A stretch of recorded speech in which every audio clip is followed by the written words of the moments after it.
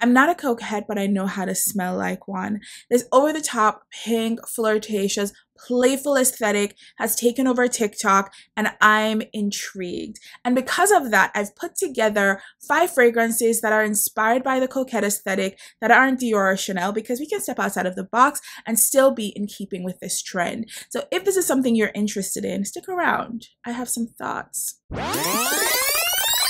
Hi, I'm Jeanique, perfume collector and enthusiast, but more importantly, someone who's interested in all things aesthetics. Today we're focused on the coquette aesthetic, and I'm going to talk a little bit about what it is, where it came from, but more importantly, what fragrances really embody this particular trend. Looks like I lost my favorite times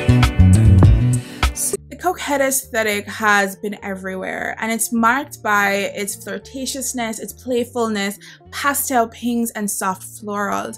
We see them on our timeline. We cannot get away from them. We're not trying to, are we?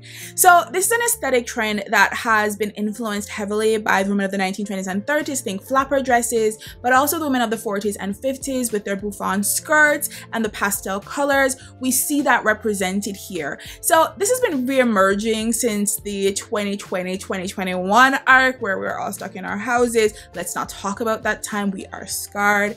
And the coquette aesthetic really rep represented itself. Now, here's the thing. The coquettes have been around since like the 17th century. They've been been around. But I am going to argue, mm, and I could be wrong, but the reemergence really takes inspiration from things like Bridgerton just taking off and seeing that soft femininity on screen and wanting to represent that yourself. I get it. Back in the day. So we're starting in the 17th century. Yes, we're starting with history when the word coquette was created by the French to describe men who were in these streets doing way too much. I know. Then the patriarchy took the word that was describing these men who were extra as fuck. I mean, yes.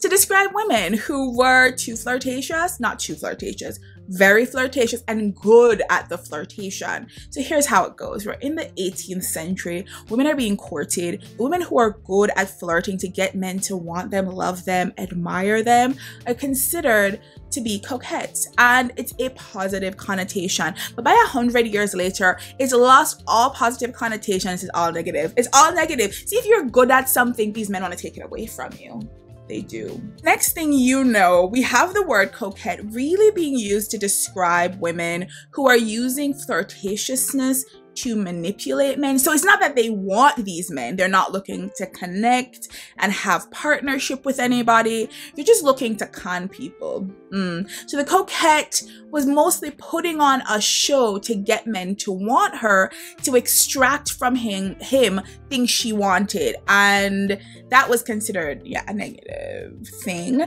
And so the term itself fell out of favor because it lost all of its positive connotations by the time it was being used like this.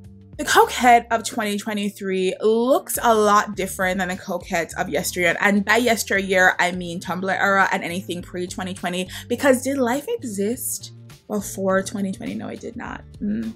So anyway, the 2023 coquette isn't so much about manipulation and putting on a show for men because low-key, I'm not even sure how much men dig this particular aesthetic. I think the way that we see women's bodies on the internet has shifted so much that someone in a knee-length pink skirt like isn't giving mm, explicitly overtly sexual.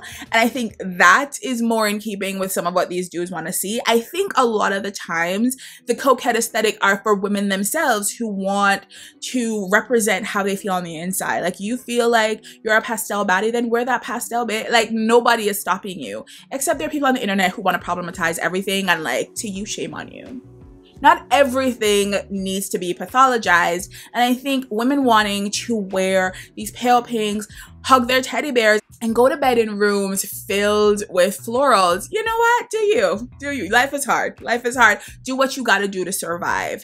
But one of the things that keeps coming up is how do you add perfume to this? Like, how do you smell like the coquette? How do you complete the look from the outfit itself to the accessories to the fragrances? And I got five fragrances here that are total coquette, if I do say so myself. The first fragrance that I would recommend if you're a coquette in the making is this little guy here.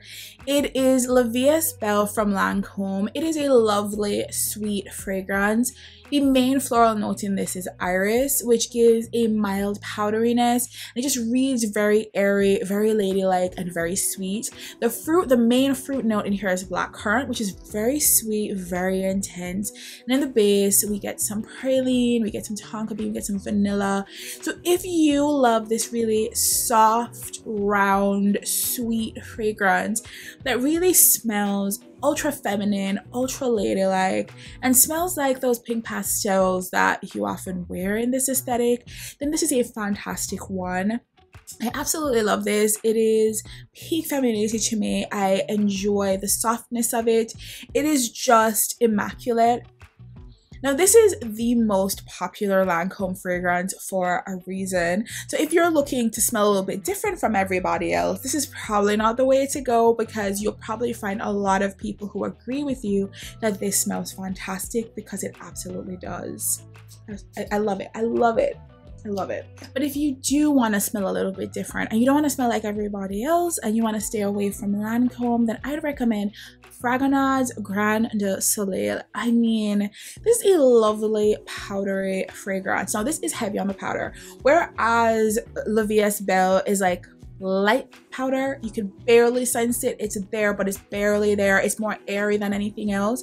This one is definitely powdery. That's what you're getting. But what you're also getting are these gourmand spices like cinnamon and nutmeg mixed with a bit of vanilla and it makes it sweet and soft and powdery and ultra ultra feminine.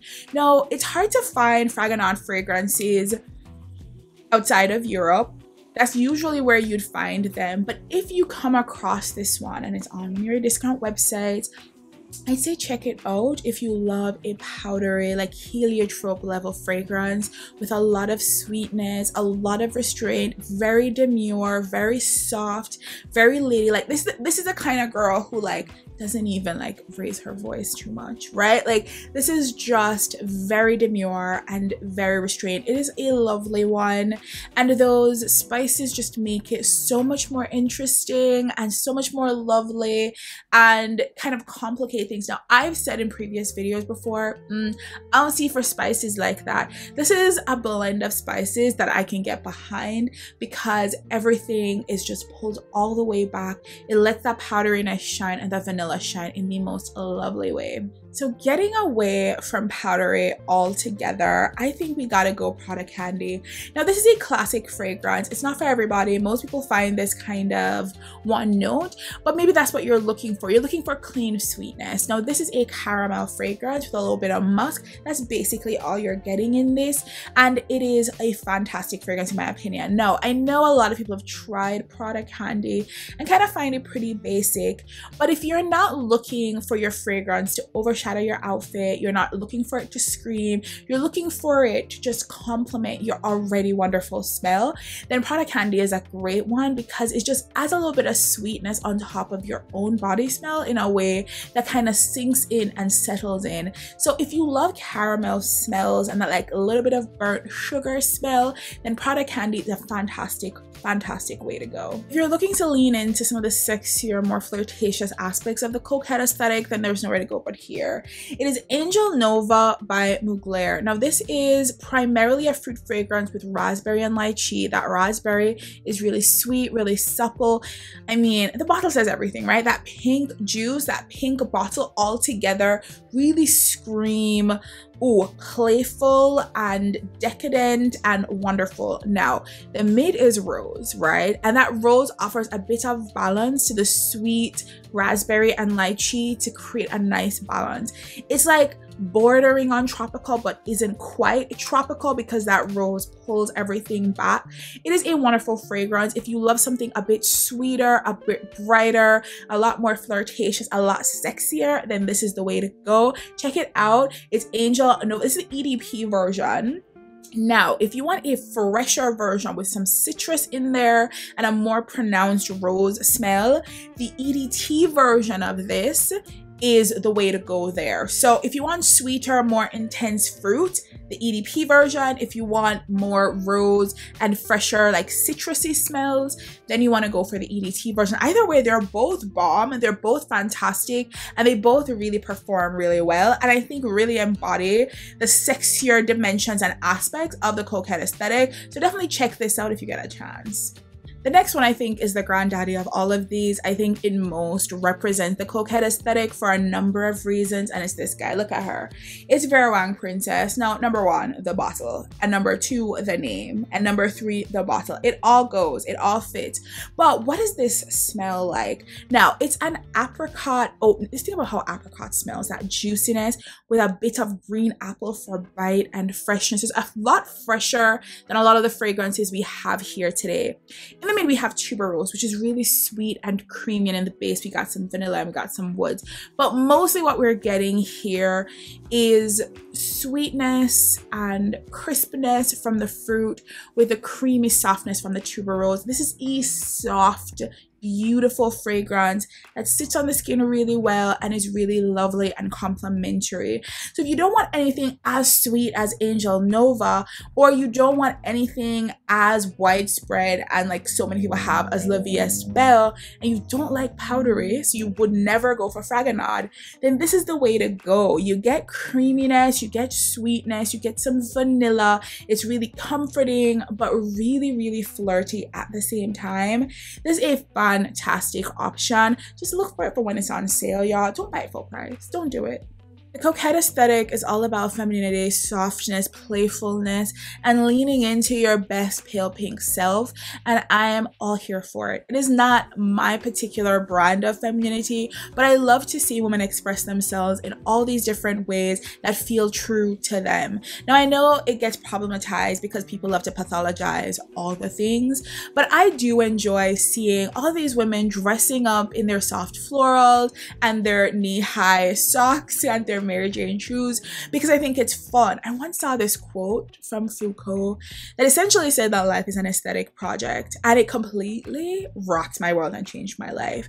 To think about life not just as utility and function, but as beauty and art, and to think of yourself as the piece of art that you are molding seemed like a really novel concept. And I think people who lean into aesthetic trends already knew this, and I was just new to the idea. And it took me finding some old French philosopher you know, to get it, but I got it. And every time I see this particular trend on my For You page, I think, you go, bitch you go. The coquette aesthetic isn't all rainbows and unicorns. One of the things you notice as you scroll through your TikTok is that it's all thin white women and that it doesn't seem like a welcoming space to women of other races and other body types. And that is never a great thing to see.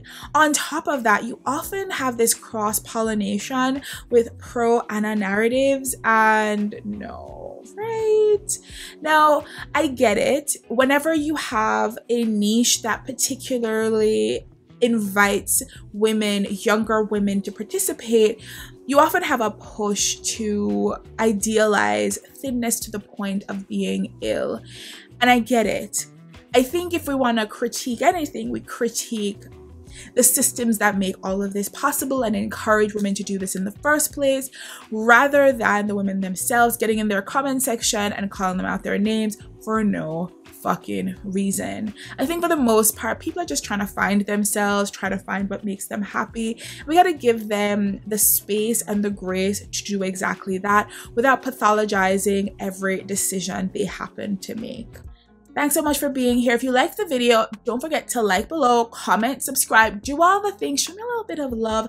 I would really appreciate it. And if you enjoyed this video, check out my video on soft floral perfumes that are complimentary for everybody. And keep coming back because I'm going to keep making these videos if you keep showing up. Bye, y'all. You've been mind. I've been seeing great light such a great line. Let me, touch you in straight lines.